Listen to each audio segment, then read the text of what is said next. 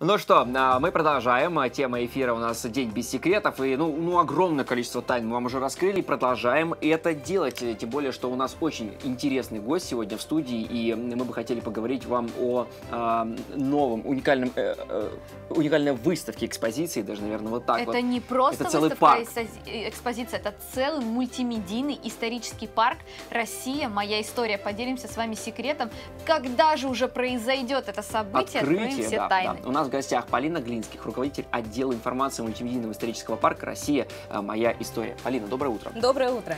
Вот что это вообще такое? А, Что это такое мультимедийный парк? А, Как родилась идея? Поподробнее, пожалуйста. Это действительно уникальный проект, как ты сказал, а, который появился в далеком 2013 году в Москве, но зарекомендовав себя у посетителей, то есть огромное количество людей хотели увидеть его, начали развивать сеть. Открыто в 2017 году было уже 15 парков, и вот наконец-то в 2019 году открывается юбилейный, так То сказать, есть это по факту 20 франшиза, да, такая? Да, это такая Мгм. франшиза, то есть у нас 20-й парк открывается наконец-то, уникальный он. Почему? Потому что используют современные мультимедийные технологии, которые понятны всем и каждому, в особенности целевой аудитории школьникам. И во-вторых, там история России представлена панорамно, непрерывно, то есть мы начинаем от Рюриковича и проходим по коридору, э, везде мультимедийные яркие экраны, ты можешь прикоснуться к истории, оживить ее. До Романовых тоже доходим? До Романовых доходим. Потом у нас начинается 20 век, это от великих потрясений к Великой Победе. Потом от Великой Победе мы вместе э, с нашими прошлыми, с нашими предыдущими поколениями восстанавливаем страну и приходим к нашим дням уже о недавних событиях, свидетелями которыми были все мы. Так, Я так представила это сегодня. я уже прям говорю, ну пойдемте. виртуально прогулялся. А где это будет все находиться? Это все будет находиться по улице Труда 183, ТРК Гагарин парк.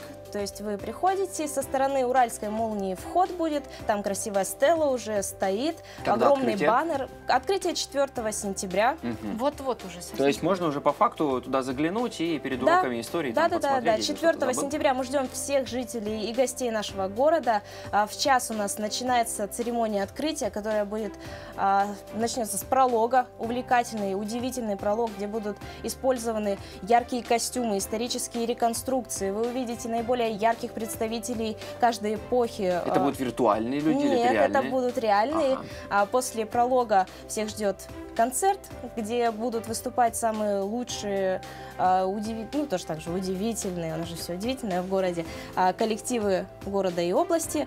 И также в этот день до 8 часов любой желающий может прийти и посмотреть бесплатно Вход на экспозицию. Да. Мгм. А вообще сколько будет стоить? А билет? вообще все будет стоить не так много. Для школьников это всего лишь 100 рублей, взрослый билет 200, а, до 7 лет дети бесплатно. И также организационные, организованные группы, то есть когда берут экскурсию, также бесплатно дети, чисто за экскурсионное обслуживание. Это же великолепно. Если бы в мое время, когда я училась в школе, историю показали вот так. Слушай, в твое 100 время рублей. еще не так сильно даже развиты были мультимедийные системы. А вот, Мы кстати, даже они, не да, знали Полина, особо, скажи, пожалуйста, а что, что из это мультимедийные системы? Такие, это будут какие-то специальные книги, это, Это проекции, экран. что как это? это выглядит? В общем, там более тысячи проекторов, то есть проекций. Там будут действительно мультимедийные книги, куда вы подходите, переворачиваете, листаете. Мгм. Будут стоять специальные стенды, где вы можете непосредственно нажать на экран. Будут а, стоять огромные инсталляции, где вы можете просто провести рукой, и, допустим, древний город Аркаима живет перед вами, вы сможете прогуляться, так сказать, по нему, увидеть его строение. То есть огромный спектр технологий, также, конечно же, огромный купол, то есть вы можете перелечь на специальное кресло, да, Мгм. и насладиться. А, это уже на, на потолке да, да, да, да, то есть купол, будут панорамные залы с экспозициями, то есть В общем, историю в этом э, Да. парке можно будет, да, сейчас. не только посмотреть, но еще и пощупать.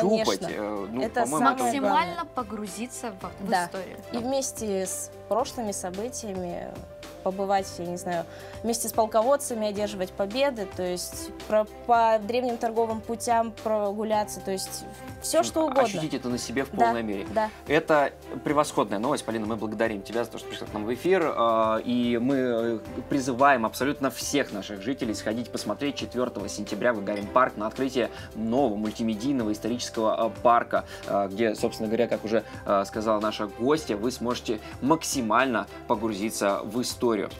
Действительно великолепное событие. Еще раз благодарим Полину Глинских, руководителя отдела информации мультимедийного исторического парка «Россия. Моя история». Ну, э, вот э, никаких секретов нам э, Полина, собственно говоря, не утаила от нас ничего, никаких тайн. Все раскрыла, А вот а, утаивали ли какие-то секреты от своих родителей наши жители, мы узнаем сейчас из опроса.